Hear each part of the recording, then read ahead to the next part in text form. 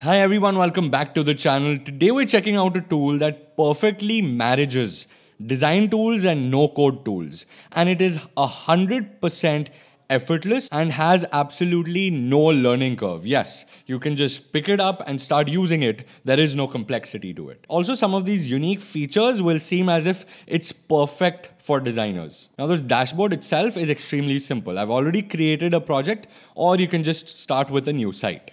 Of course, it asks you for a title and it gives you a free domain name to go with it.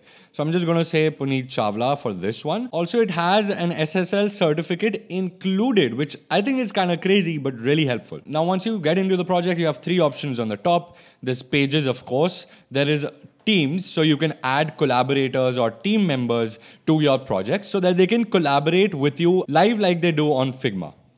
And of course, there are settings. So you can change, say, the website icon or the favicon. You can change the title. You can change the domain. And also, you can add some custom code to the head. Now, I really like the fact that you'll be able to see all these different pages the, the home screen, the about screen, contact screen, everything here on one page. So you won't have to navigate from one page to the other and you can see a preview of everything. Now, if I go inside one of these pages, that is where the fun begins. As you guys can see, it seems extremely like a design tool. It's as if Adobe XD and Figma had a baby. There are all these amazing options to add text, rectangle, images, icons, buttons, videos, all that good stuff. And on the right, you have all the options that you'll be able to do to edit this site. Of course, the background color you can change from here to any color. This is very familiar because this is exactly how you do it in Figma. Now, they also have some layout grids already built for you. Now, I would recommend using this grid as a reference point and then designing your designs. Now, the first really unique feature is the fact that you can add any element. Say, for example, you want to add an image. You can freehand this addition. So you can add it to fit this much width.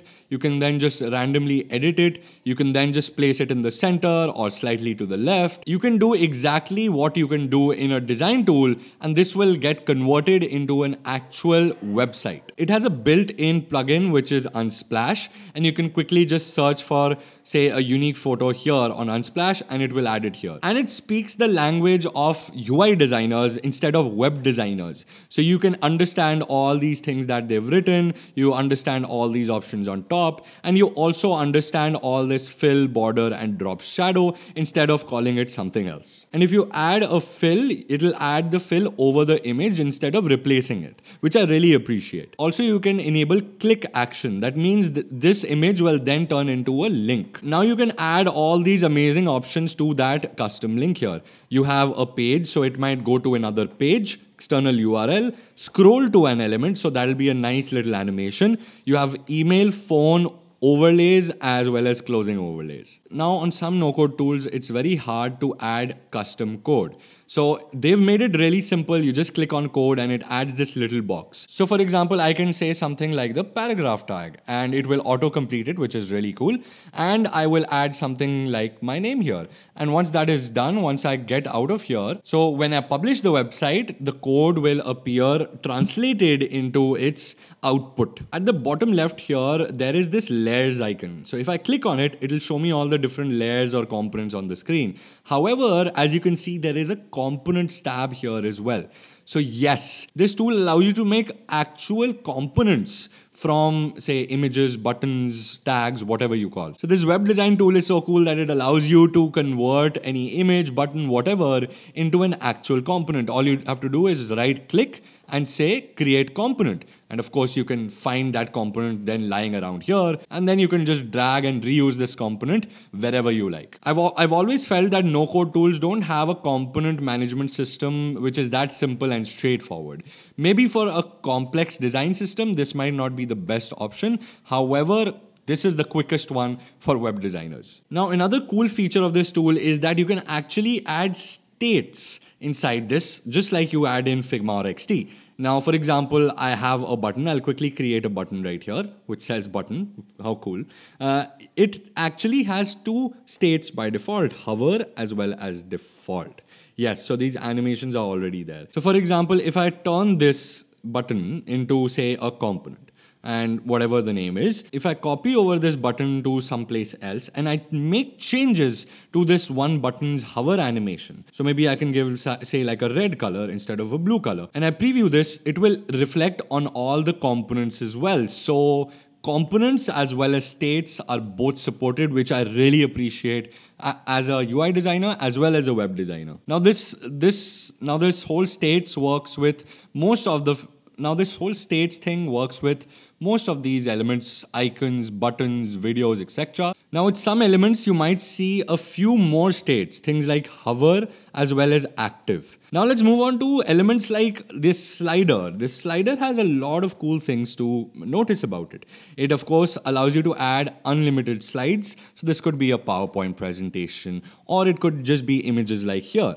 You can of course add or subtract or just remove it for the time being from this area and you can choose whether you want to autoplay it or not. Now it also allows you to choose what kind of icons you would want for the arrows, which means that there is full flexibility with even these elements here. Even, even for these little dots at the bottom, you have full flexibility to change these dots to anything you like, any icon that you can possibly think of. Now let's come to another really interesting feature you to be more productive and also save a lot of time. So if I click on say a empty rectangle like this, on the right, there will be shapes. Yes, you can switch between a rectangle, a circle, as well as a line at any point of time you like. Now, creating forms with this tool is so, so simple. So for example, I have just created, uh, I've just dragged in a form from this form option on the left. And as you can see, there are a lot of predefined options, horizontal or vertical. You have classic, so you can switch between classic, new style as well as underline. So whichever style fits your forms the best works for you. And next is of course the form elements. So you can change the form elements properties from here at any point of time. And rather than going inside the form and editing each and every element, you can edit the design or the style of these elements at any point of time from here. You can quickly switch between the field style and the button style. So whichever style you are focusing on, you can basically do that. What I really like about this is also that you, if you drag around the form, it will basically adjust it just like you can see in something like auto layout. Last but not the least are the maps, of course. Again, there's a map option right here.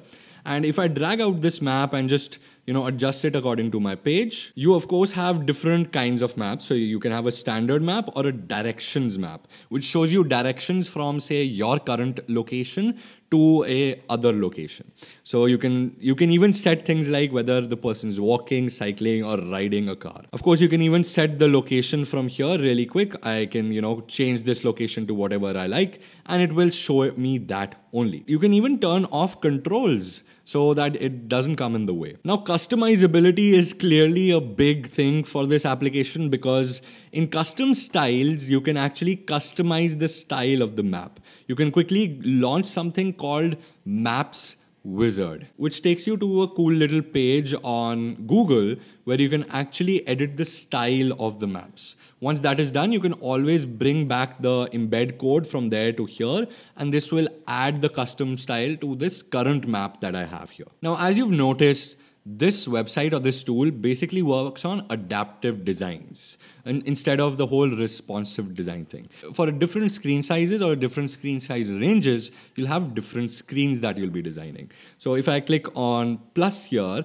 and say something like mobile portrait, it will add a mobile portrait option right here and you can switch between these two sizes and of course adjust the size and position of all these elements. Also, it has something called auto layout. So if I say auto layout, it auto magically adds a cool looking layout for your mobile. So rather than designing everything from scratch, moving things on their own, you can toggle the auto layout and it immediately cleans up the entire page for a mobile layout or for a desktop, whatever you like. Now, once we've created this website, what if I want to publish? I can quickly just click on publish. I can preview before publishing. And once I'm ready, I can click on publish. And that's it. It's that seamless. It is now at punitchawla1.siter.io. You can always check this out. And as you can see, everything works just perfectly. Of course, it also has a lot of things like error management for your forms and some cool Swift animations for things like your uh, scroll here. And remember these buttons? Look how cool they look. So basically, this tool brings the complexity of Webflow